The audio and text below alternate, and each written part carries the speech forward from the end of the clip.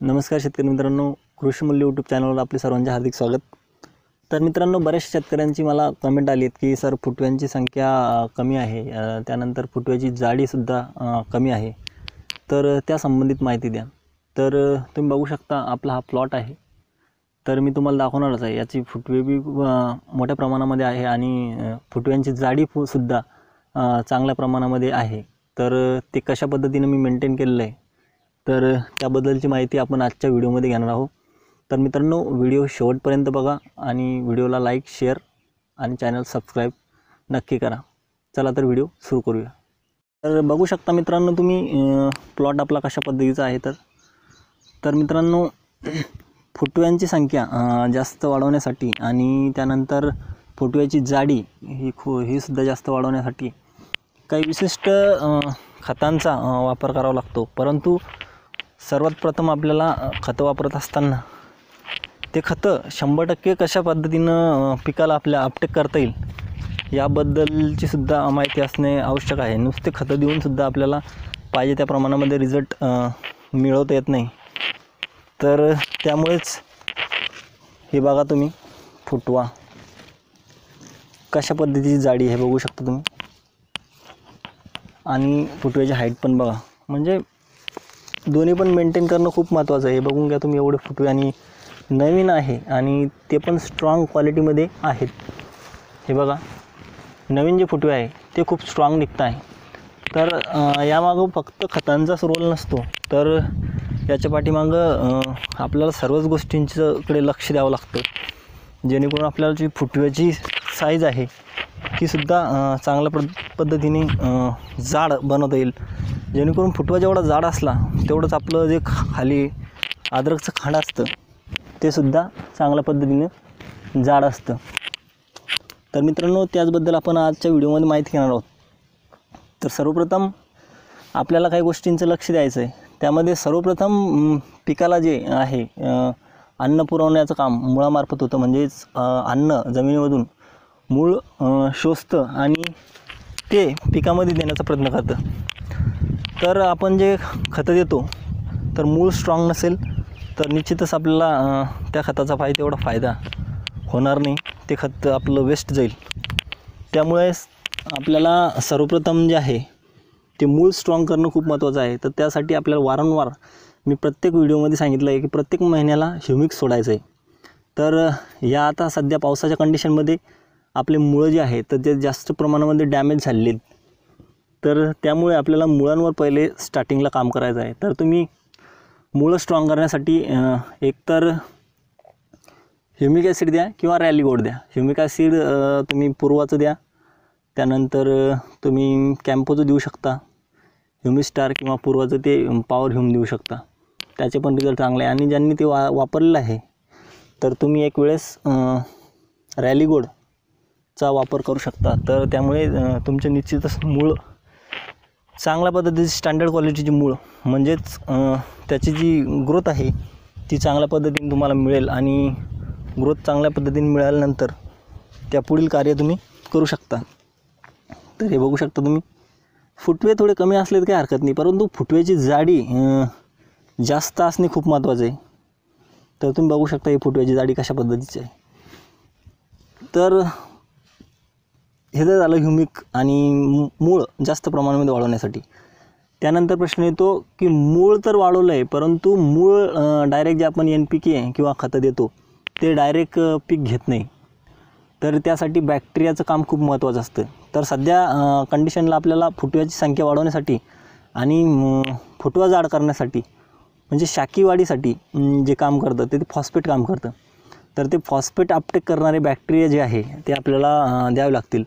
तर त्यासाठी आपण ट्रॉपिकलचं नॅनोफॉस किंवा स्फुरद विरघळणारे कोणते पण जीवाणू बॅक्टेरिया आपण आपल्या जमिनीमध्ये ड्रीप वाटे द्यायची किंवा ड्रिचिंग करायची.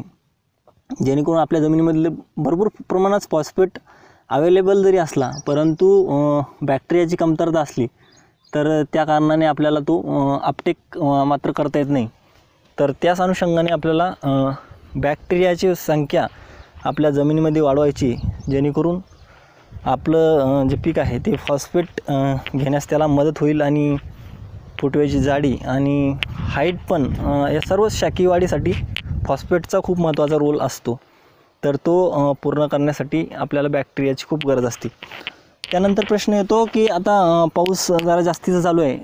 त्या कारणास्तव जमीन वापसा कंडिशनमध्ये पाहिजे त्या स्थितीमध्ये नाही आहे तर त्यामुळे आपण सल्फरचा वापर करायचा आहे. जेणेकरून पीक सल्फरचा वापर मुख्यतः दोन कारणाने करावा. जेणेकरून ते बुरशीनाशक म्हणून सुद्धा जमिनीमध्ये रोल आहे त्याचा. आणि त्यानंतर पीक जे आहे पिकाला अन्न तयार करण्याससुद्धा त्यामधली काही घटक आहे. ते क्लोरोफिल निर्मिती वगैरे तर ते सल्फरमुळे आपल्या पिकाला मदत होते. आणि बुरशीनाशक म्हणून पण काम करतं. या स्टेप बाय स्टेप काही गोष्टी करायच्या आहे ज्या स्वतः मी केल्यात आणि मी तुम्हाला सांगतो आहे तर त्यानंतर आपल्याला नंबर तीन एक नंबर झालं ह्युमिक दोन नंबर झालं सल्फर आणि नंबर सॉरी नंबर दोन झालं पोटॅश अपटेक करणारी बॅक्टेरिया आणि नंबर तीन सल्फर याचा आपल्याला वापर करायचा आहे आणि त्यानंतर प्रश्न येतो खतांचा. तर खतांमध्ये बाकीचे ग्रेड नंतरही देऊ शकता तुम्ही. परंतु सर्वप्रथम तुम्हाला कॅल्शियम नायट्रेटचा वापर करायचा आहे.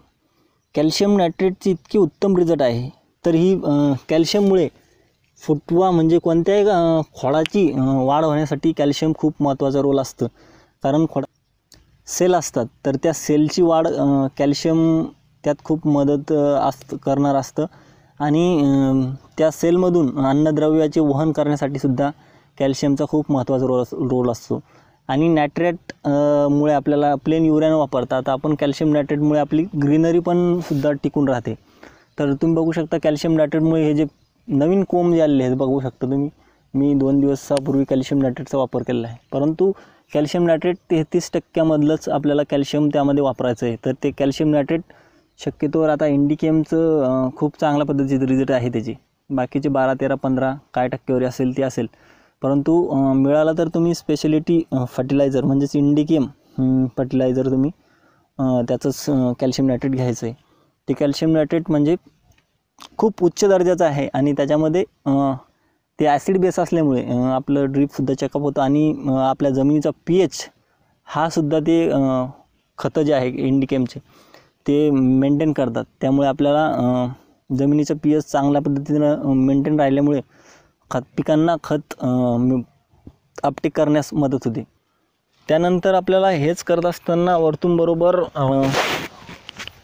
कॉपर ऑक्सिक्लोराईडची फवारणी घ्यायची. कारण की कॉपर हाही घटक खूप महत्त्वाचा आहे पिकाच्या वाढीसाठी आणि जास्त पाऊस असताना कॉपरची कमतरता पिकामध्ये जाणव जाणवते. त्यामुळे आपण कॉपर ऑक्सिक्लोराईड जर त्याची फवारणी घेतली तर आपला करपासुद्धा मेंटेन होईल आणि कॉपरची जी कमतरता आहे पिकामधली ती पण बऱ्यापैकी भरून निघेल. तर एवढं खा खालून ड्रीप वाटे देत असताना आपल्याला वरतून फवारण्याकडे खूप लक्ष द्यायचं आहे आणि फवारणी करत असताना सध्या कंडिशनला मायक्रोन्यूटन घेणं खूप महत्त्वाचं झालेलं आहे कारण सूक्ष्म अन्नद्रव्य अशा पावसाच्या वातावरणात शक्यतोवर पीक अपटेक करत नाही. त्यामुळे आपल्याला जे आहे तर फवारणीतून मायक्रोन्यूटन पण द्यायचं आहे आणि कॉपर ऑक्सिक्लोराईडची सुद्धा आपण फवारणी घेऊ शकता. त्यामुळे आपले पिकाला चांगल्या पद्धतीचा फायदा होऊ शकतो. तर मित्रांनो व्हिडिओ आवडला असेल लाईक करा शेअर करा आणि कृषी मूल्य यूट्यूब चॅनलला सबस्क्राईब करा. धन्यवाद.